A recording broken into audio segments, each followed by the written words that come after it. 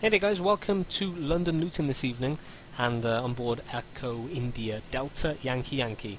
The topic of today's video is FSUIPC. So it's a question you guys have asked in the chat a lot, um, some of you guys in particular for the Thrustmaster HOTAS, uh, throttle quadrant, rudder pedals and joystick, so I thought I'd cover it in a video seeing as I have that bit of kit. Um, now for this you do need the paid version of FSUIPC, uh, and what it does is I'm able to basically turn off P3D's assignments for my joystick and things and put it all to FSUIPC and it does it all for me. So I'm able to do things like this by, for example, going to the speed brake lever, not even having the mouse near it, and using my throttle quadrant to do the whole speed brakes job. Uh, same with the flaps, I can just put a little lever here, the flaps will go down, and again they'll go back up. And also, going to the APU up here, if you just look, flicking a switch, and the AP will start, flicking another switch, or the same switch the other way, and it will turn off. I'll show you guys how I've done that in FSUIPC in just a moment. Okay, right, so first things first, what I wanted to show you was what happens when you don't have things assigned and how to assign it. Now I'm only going to show you for the throttle quadrant for now. Uh, I'm not going to show you to set up the rudder pedals and the joystick because it's the same principle for pretty much all of those things. So if I just show you in the webcam here, and show you in the sim as well, so sorry about the poor quality. Um, so if I go into the sim and I move the throttle quadrants now, you'll see nothing is happening. You can see I'm physically moving it, nothing is moving at all. So I'll show you how to basically map it so it will recognize this as a movement in the sim. So you want to get a hold of FSUIPC and you've got to make sure of course you've got the paid version of this and you want to go into axis assignment because you're basically assigning the axis of the joystick to something in the sim. So if I now physically, again I'll bring the webcam up for you guys again. Um, so if I physically bring up the, the um, throttle quadrants and I move them, FSUIPC as you can see will automatically recognize that I am moving it. So full forward, as you can see, those are the figures. If I move it all the way back, again you can see the figures. Now it's not mapped to anything right now, if you can see here, so we need to map it to throttle.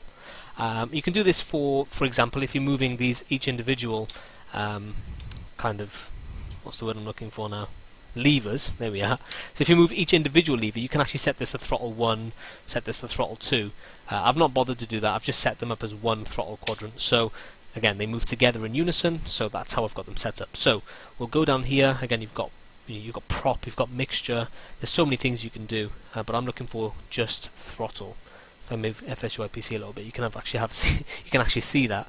Uh, where are we then? Throttle. There we are. So if I set that to throttle now, if I move it forward and backwards, it's still recognizing it as a movement, and it now knows that I want to send the action of this to the sim to act as a throttle. So if I press OK now, if you guys have a look, you can see with each tiny movement, the throttle will recognize that.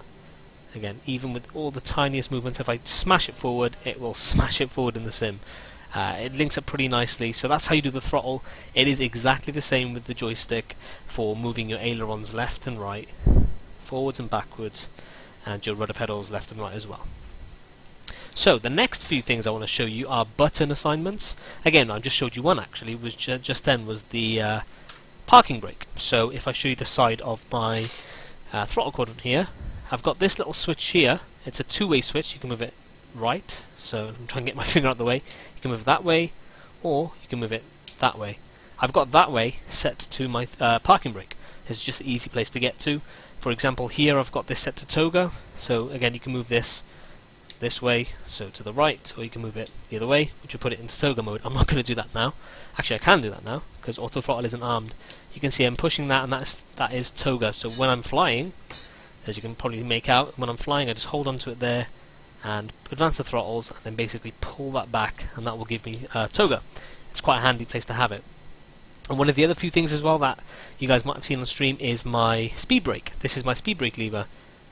If you have a look on the uh, on the actual sim, you can see with each movement it is moving in accordance. So if I move it to the 50% position, it's in 50% on the sim. If you guys have a look here, 50%, and if I move it to the full forward position, it will move it into the up position and if I move it all the way back again it responds and corresponds to what I'm doing which is what you want it to do so I'll show you how to do, do that in the sim next and the other cool thing as well I want to show you is let me pick up the webcam here probably be easy to show you guys is um, the APU switch. This is actually mapped to an APU switch. It actually says APU start. You can't actually read that because of the lighting. But if I move this to stop um, off now, you'll see in the sim, it will turn the APU off. You see that there? So if I move it to start, the AP will go to start, and if I move it to off, the AP will turn off. It's the same for the taxi light here. I've got this mapped, this button over here, to taxi light, up and down. You can probably see that correlating in the sim. Uh, it's just these few little things that um, just make flying easier. So again, I'll just show you again. This is toga. You pull it back. That's toga. Parking brake is here.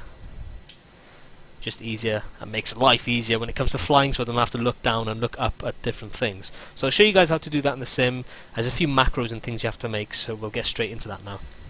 Okay guys, so for example, uh, don't mind the uh, 737 by the way, it's gone into a weird state because I've got like power messed up. Uh, it's only an example by the way, so um, for example, what if you wanted to set a button so you could chime the cabin like every second? So be able to do this without actually physically having to look to the overhead. Again, it's just an example, but it's like the taxi light. If I wanted to switch the taxi light on right now, I can do that with the flicker's first switch. If I want to do that with the chime, I can't at the moment. What you need to do to do that is actually create a mouse macro. And what that will tell FSUIPC is that the, the switch I'm about to flick, I want it to become a button that I can assign to the throttle quadrant. So to do that then, uh, you go to FSUIPC, buttons and switches, you create a mouse macro as I just mentioned.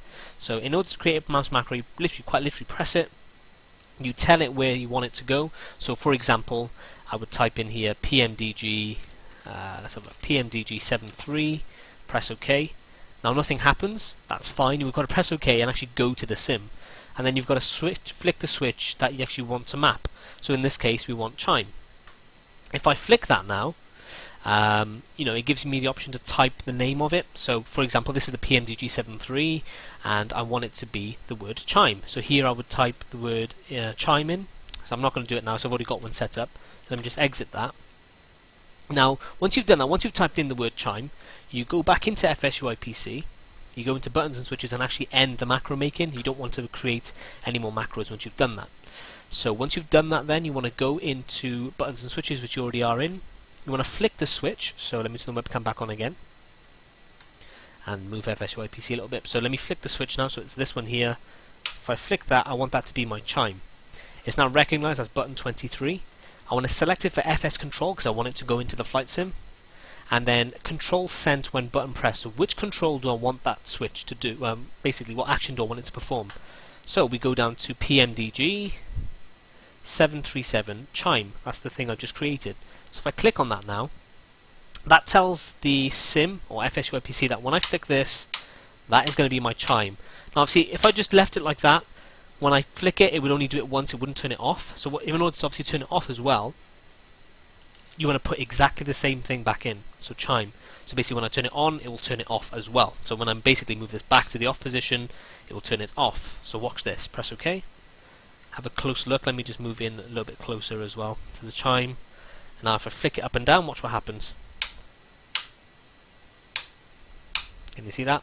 So that's on, that's off, on, off, on, off, on, off, on, off. And I could do this all day and bing the cabin and do their heading. That's basically how you do that. That's how you map uh, and create a macro. It's the same what I've done with the taxi light. Exactly the same process. Uh, it's piss easy.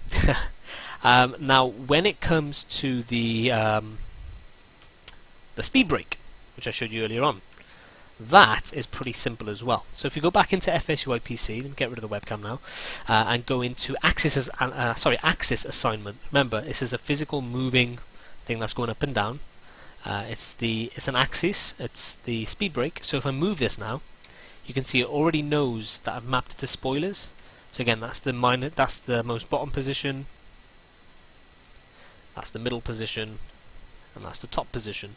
So um, if I now basically click on this, it's the same as the throttle. I could technically have this set to my throttle if I wanted to. If I wanted to have this as my throttle, I could, but I want it to be set as spoiler. So all you do is quite simply go to spoilers, uh, click spoilers, and press OK, and that will send it to the sim as a spoiler. It's as simple as that. There's no macro making needed to be done for that. Um, and again, like I say, the, the APU is exactly the same. Flick the APU switch there, That'll turn on the APU, flick it off. that will turn it to off. I hope that answers a couple of questions. Again, it's probably not the best tutorial ever on uh, how to um, do macros and how to set FSUIPC up, but it's just a quick insight into how I've done it. So if you have any questions, uh, hit me up in the comments or get in contact with me with the various forms that I have, and I'll be able to help. And I will also put the INI file for my modules for FSUIPC in the description as well. If you guys have the same throttle quadrant and you want to use my mappings, then you can use that. But just a word of caution as well, make sure you back up your original one, just in case my one doesn't work as, as well as you'd like, or you just don't simply like it. So uh, hopefully that helped. I will catch you guys in a stream or another video very, very soon. Take care. Bye-bye.